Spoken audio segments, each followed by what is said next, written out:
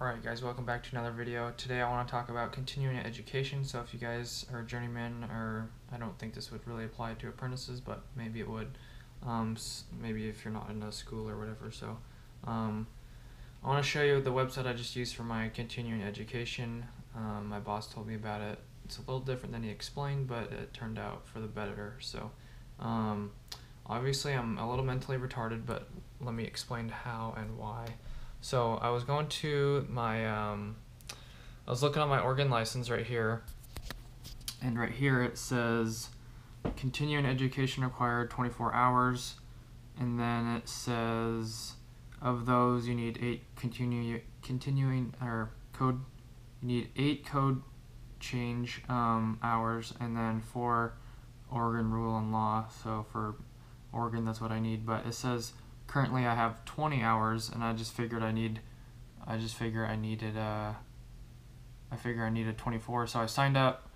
What I did was I signed up for the 24 hour class and I could have just signed up for like a 4 hour class and got got it done for $50 instead I was retarded and did the 24 hour class and um, it cost me $133 so um, hopefully so these hours right here, these 20 hours that I have right here for my continuing education should expire next month or in October or whatever when my license expires.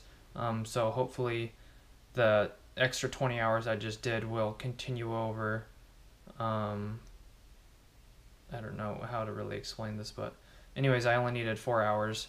So hopefully the other 20 will carry over for the next like three years or whatever. Maybe I'm just retarded on that as well.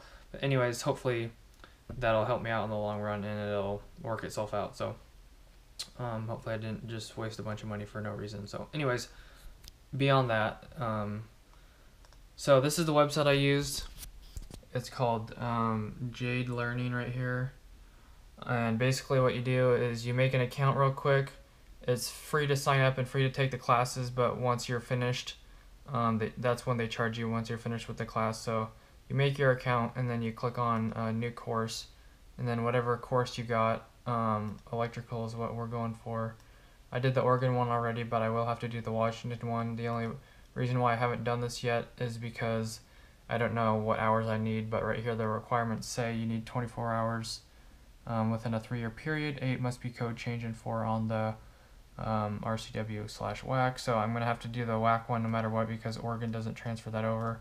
And I thought some of these say that the Oregon hours transferred over to Washington, but it doesn't look like it because when I clicked on the program or whatever, it said that it didn't or whatever. It wasn't an option to transfer to Washington. So anyways, here's the packages right here. What I did for Oregon was a 24 hour package. It's $169 but you can pick if you just need like four hours or eight hours you can just do an $85 one $85 $50 or whatever. But you're gonna want to make sure that you uh, I'll just pick one real quick but um, and then it shows up right here and then you click on it. But what you're gonna want to do is make sure this website is approved for your state. And um, what I mean by that is you want to make sure that um, that your state website um, hopefully it says um, hopefully it says it's an approved website on there if you can find it. If not it should be um, it should just automatically work but I don't want to give you guys the wrong information. So um, hopefully this website you can you can choose your state or whatever on your course. So hopefully it wouldn't steer you wrong and give you courses that wouldn't be approved by your um, state um, electrical board or whatever. So anyways at least for the Oregon one real quick, um, I don't know, these are just random questions right here, but I'm just going to click some random answers real quick. But for the Oregon test, it was really easy. Okay, so here we go. This is what I'm talking about. So uh, once you get on your test, it'll say 8-hour course, 100 questions. Um, you have, um, so, I don't know what that means. Um, so you got you have to get a 75% out of 100, so you have to get 75 questions out of 100. And it says you have to accumulate 6 hours and 40 minutes, so um, hopefully I didn't screw mine up because what I did was, so maybe this video isn't going to be actually good at all, but anyways, um,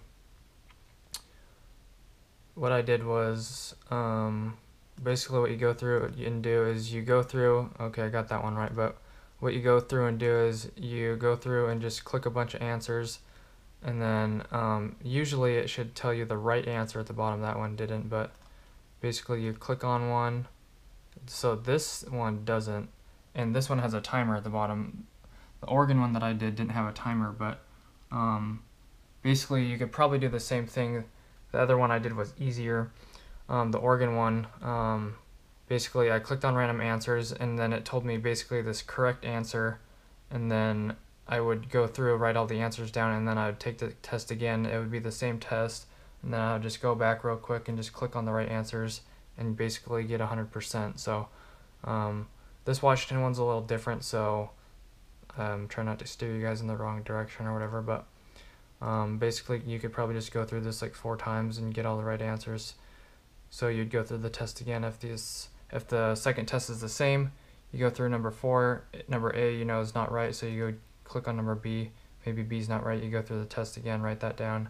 A and B is not right, and then you click on C and etc. So, um, anyways, you have to get an accumulated hour right here of six hours or whatever. So on if if this was my test, then I would um then I would need to just leave this open for like six hours or whatever. So you can just leave this open and do nothing once you um, once you're on your last question or whatever like that. So anyways, um, that's basically, I just wanted to explain that to you guys, so I don't know how to get out of here. So anyways, um, hopefully this helps out. I basically took 24 hours of classes. Um, I, the first test, I missed it by 74, I missed it by 1%, and that's when I figured out this the second test was the same as the first, so that's when I went through and basically memorized the answers basically on the first test and then on the second test that's when I started writing the answers down and then um, and then I just blew through it got all of it wrong went through a second time and got all of it right. Did that for all all the rest of my three tests or whatever. So I did 24 hours of continuing education in like three and a half to four hours. So um, it's the eight hour code the eight hour test or 100 questions. So um, I did 24 hours. So um, the the eight hours was 100 questions. The other eight hours was another 100 questions, and then the four hours were each, I think, 50 questions. So that's like 400 questions in basically three and a half to four hours. So making up really good time. I don't know if you actually go to a class and sit down and have someone teach you this. If you, you'll probably actually have to sit through 24 hours of someone talking to you if you do it legitimately. Um, some people might, um, if you have a cool person or whatever, they'll just sign it or whatever. Someone's told me that someone I know said that they were behind on their hours or whatever. They need to get their continuing education done, and um, they didn't have enough time. So basically, the guy just signed it, and he they paid them the fee, but they actually never sat through a class. So that would be the way to do it um, if you don't care. But um, this is probably one of the fastest ways. Granted, I haven't gone through everything else, and um, this is the only website I've used, but it sounds like a really good idea. And uh, so yeah, so that's that's what I did and it worked so hopefully there wasn't a time requirement. I might, might go make another account real quick and double check on that but I never saw a time uh, timer on my Oregon test or anything like that. So hopefully I didn't screw myself and get myself in trouble. But anyways that's what I just want to give you guys a little video. I will be going out of town for like two weeks starting on Sunday. So like three days uh, Sunday morning I'll be leaving for like two weeks and so I don't know how if I'll be able to make videos but if I do make videos it'll probably just be off of my phone. But I do need to get a new phone because the audio keeps cutting out um, I'm gonna end this video before 10 minutes but anyways. I just wanted to give you guys an update so that's all I really got for you guys and um, I will be trying to work on the the power tool video and I think there was someone else that left me another comment and I've seen it so if I find it again then I will definitely um, make that video as well but I'll do the power tool video and I still want to do how-to videos of how to wire stuff some basic stuff so um, with that being said thanks for watching I appreciate it God bless have an awesome rest of your day and I'll see you guys shortly again within a few weeks maximum but anyways I'm gonna try to make another video tomorrow so um, I will see you guys later.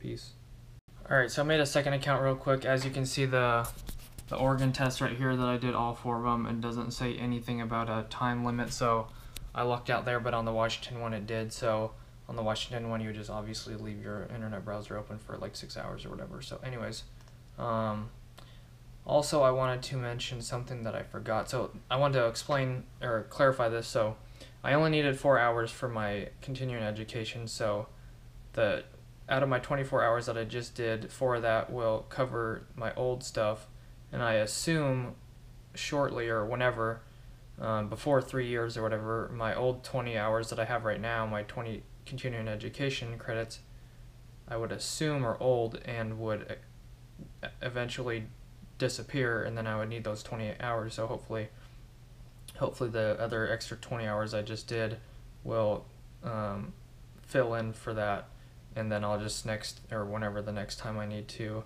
do continuing education, I'll just need to do four hours, four hours again or whatever.